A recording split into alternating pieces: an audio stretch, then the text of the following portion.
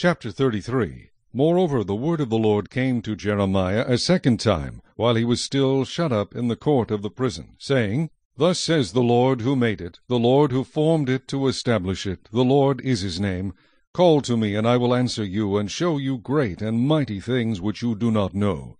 For thus says the Lord, the God of Israel, concerning the houses of this city, and the houses of the kings of Judah which have been pulled down to fortify against the siege mounds and the sword. They come to fight with the Chaldeans, but only to fill their places with the dead bodies of men, whom I will slay in my anger and my fury, all for whose wickedness I have hidden my face from the city. Behold, I will bring it health and healing. I will heal them, and reveal to them the abundance of peace and truth. And I will cause the captives of Judah and the captives of Israel to return, and will rebuild those places as at the first. I will cleanse them from all their iniquity by which they have sinned against me, and I will pardon all their iniquities by which they have sinned, and by which they have transgressed against me. Then it shall be to me a name of joy, a praise, and an honor before all nations of the earth, who shall hear all the good that I do to them. They shall fear and tremble for all the goodness and all the prosperity that I provide for it.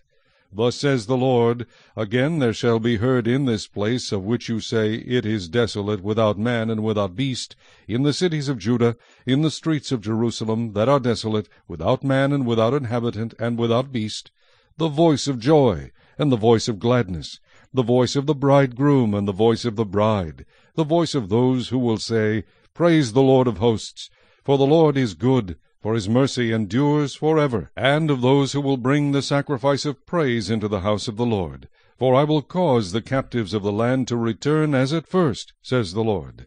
Thus says the Lord of hosts, in this place which is desolate, without man and without beast, and in all its cities, there shall again be a dwelling place of shepherds causing their flocks to lie down, in the cities of the mountains, in the cities of the lowland, in the cities of the south, in the land of Benjamin, in the places around Jerusalem, and in the cities of Judah. The flock shall again pass under the hands of him who counts them, says the Lord. Behold, the days are coming, says the Lord, that I will perform that good thing which I have promised to the house of Israel and to the house of Judah. In those days and at that time I will cause to grow up to David a branch of righteousness. He shall execute judgment and righteousness in the earth. In those days Judah will be saved, and Jerusalem will dwell safely. And this is the name by which she will be called, The Lord our righteousness. For thus says the Lord, David shall never lack a man to sit on the throne of the house of Israel, nor shall the priests, the Levites, lack a man to offer burnt offerings before me to kindle grain offerings, and to sacrifice continually. And the word of the Lord came to Jeremiah, saying, Thus says the Lord, If you can break my covenant with the day, and my covenant with the night, so that there will not be day and night in their season, then my covenant may also be broken with David my servant, so that he shall not have a son to reign on his throne, and with the Levites the priests my ministers. As the host of heaven cannot be numbered, nor the sand of the sea measured, so will I multiply the descendants of David my servant, and the Levites who minister to me. Moreover, the word of the Lord came to Jeremiah, saying, Have you not considered what these people have spoken, saying, The two families which the Lord has chosen, he has also cast them off? Thus they have despised my people, as if they should no more be a nation before them.